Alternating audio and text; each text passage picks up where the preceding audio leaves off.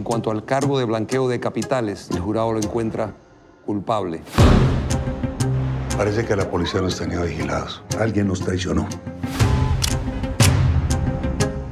El sobrino Amir estará a cargo del negocio. Muchas cosas van a cambiar, Manuela. Yo sé que te traes algo entre manos, pero yo lo voy a averiguar. Con unos 200 mil dólares tu papá sale de la cárcel.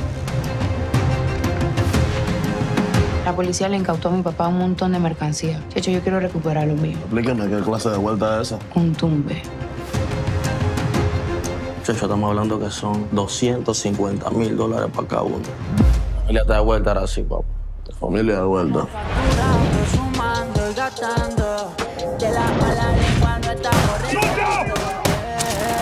Los. ¿Quiénes son estos? Son unos tumbadores de San Miguelito. No, que hay que tener cuidado, no quitarle el ojo encima. Las personas que uno quiere siempre terminan pagando las consecuencias. Me encuentras a esos tumbadores como sea. Y no saben la capacidad de dolor que nosotras podemos aguantar.